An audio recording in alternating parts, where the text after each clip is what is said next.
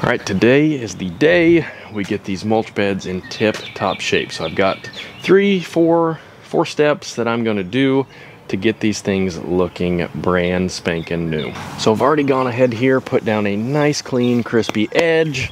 You can watch that video here if you want. And then another thing that I did, I'm a big grass guy, as you guys know, and I had a lot of grass, good grass, growing in here, still do, um, but I didn't want any of it to go to waste. So I took the Pro Plugger, pulled out as many plugs as I could, and I transplanted them to the front up there because I had some deer ravaging that spot. The rest of this, RIP, good grass. There are some weeds in here, but we got to get these ripped out. Kids are funny, man. I yesterday started pulling these weeds and stuff out, and I had my kids helping me. So we've got a pile of weeds here, and also in this pile we've got tulips, liriope, all things that I wanted to keep, but gotta love them. No big deal.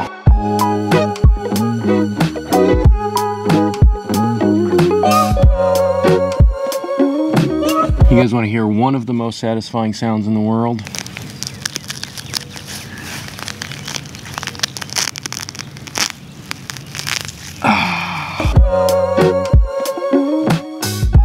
So obviously fertilizers work, but if you ever had any question about the difference that they could make, look at that.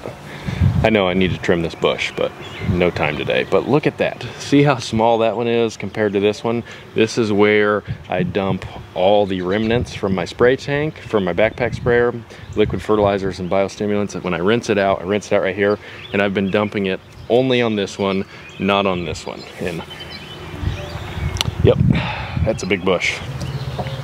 Hi. Yeah. All right, I love you. I love you. Oh. All right, so what I'm using here, this is the Anderson's Easy Weeder. This thing's super easy to use. What a pre-emergent does, just like we put in our yard, it's going to put a layer in the soil to prevent weeds from growing up. So keep our mulch beds looking way, way nicer throughout the year. So all you do with this is you hold it right here by the handle, unzip this right here and this is going to open up. It's got holes in there and it's going to drop the granules and you're just going to walk throughout your mulch bed spread it all over your mulch bed. Now one thing i will say is that if you have sandy soil this right here will cover about 1200 square feet. If you have hard clay soil this will cover about 600 square feet. And then if you have you know you're not super hard clay you're not sand you're in the middle it will cover right in the middle there around 900 square feet or so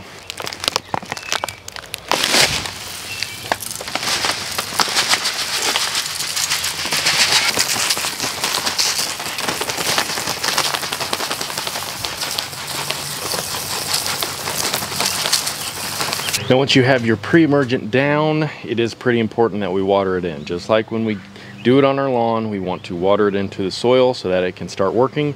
We want to water it in in our flower bed. So either water it in about a quarter of an inch so it gets down into the soil and then let it dry before you plant your flowers um, because if not you're gonna have a muddy mess whenever you try to plant your flowers or you can go ahead and just plant your flowers if any of this stuff falls in the holes you're gonna be just fine I'm not too concerned about it So I am trying to step my game up here with my flowers. Before in the past, I typically let Caroline, my daughter, pick out all the flowers, put them wherever she wants. There's no rhyme or reason to it. We just put them wherever we want. So I saw a picture online um, and I really like this look. It, I'm gonna try it. We will see if it turns out anything like it or if we're gonna be like that uh, show Nailed It. We're, we're probably gonna be more like that, that show Nailed It. So let's give it a shot.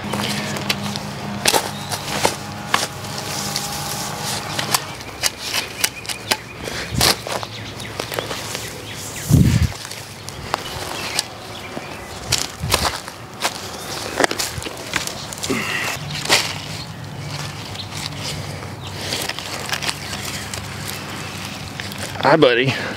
Yeah. What are you doing? Uh-oh. Uh-oh's right. You drop your passy? Yeah. Okay. We're gonna we're gonna plop this down in here, okay? Okay. Okay. You ready to work, sis? Uh-oh. Are those the old ones? Yep, I, I moved them. Yeah. Two. I moved them. The, We got another one right here. why are you planting the old ones again? Because I, I just told you I moved them. I'm moving things around, make it look better. I think it's gonna look real nice. But are you still gonna plant those ones? Yes. That one, we could I actually got some roots on it. We could probably, whoop, never mind.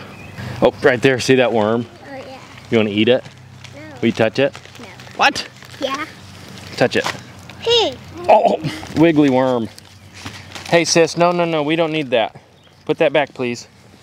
Put it back, please. Stinker. Let's put one of these new ones in here.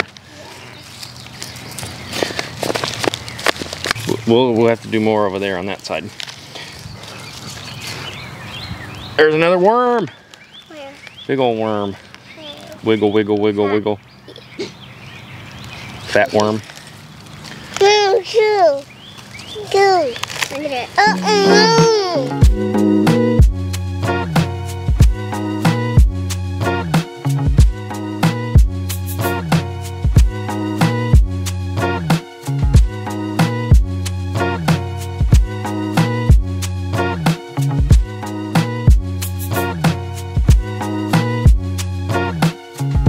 All right, so definitely recommend getting something like this for your drill instead of hand shoveling. But even this right here in this hard clay didn't work nearly as well as this Pro Plugger. I'm really impressed with this thing. This thing, honestly, probably the most underpriced, undervalued, underrated tool. This thing is solid metal. I mean, I don't think that you could break that thing unless you like actually seriously beat on it. So I did all these, made all these holes in like seven minutes. So definitely recommend the Pro Plugger for grass and for planting. So all we're gonna do, we're gonna go through here, put our flowers in, we'll be good to go.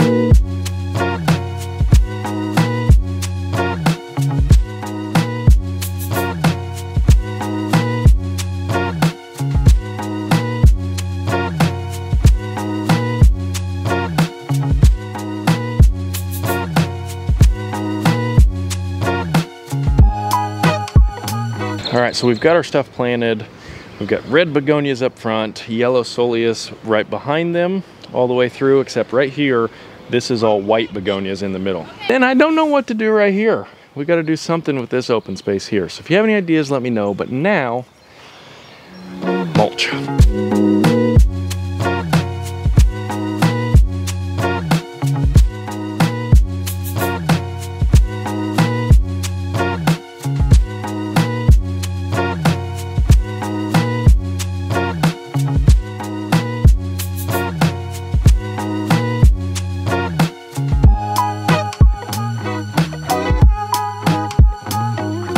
Right, so there you have it. There is my mulch beds completely refreshed. We put down new flowers, we put down a pre-emergent to prevent weeds in the mulch. Now, before I get all the comments about dyed mulch, you know, go with hardwood, natural mulch, it's so much better. I don't care, I like the look of the black mulch, okay? I think it looks awesome. So like I said, we've got red begonias all around the front with the yellow coleus right behind them white begonias here on the corner and then the red begonias and yellow coleus pick back up around the corner. Some liriope this is a um, hydrangea. We've got blue hydrangeas on it so it looks pretty cool. This tree no clue. It's not a very nice looking tree but i'm keeping it. And then over here i've got two hostas. You can only see one. The other one's a little guy barely popping out of the ground, but it'll come up. And then I had a small Japanese maple right here, but the frost got it because I suck, didn't cover it, and uh, it killed it. So if you guys have any suggestions for what I put right here on the corner, this is uh, pretty much the first thing people see when they come to my house or whenever they're walking up the driveway and on the sidewalks. Uh, I love Japanese maples, but they're so expensive. So if you have any other ideas, or if I should just suck it up and get another Japanese maple, let me know. That is the work that we did to go in here, refresh the mulch beds. Change, we changed it up. We moved some of these hostas and things around. I think it looks awesome, but the real work begins. We got to keep it watered. We got to keep it fed. Subscribe so you do not miss out on all that good stuff. We'll see you guys.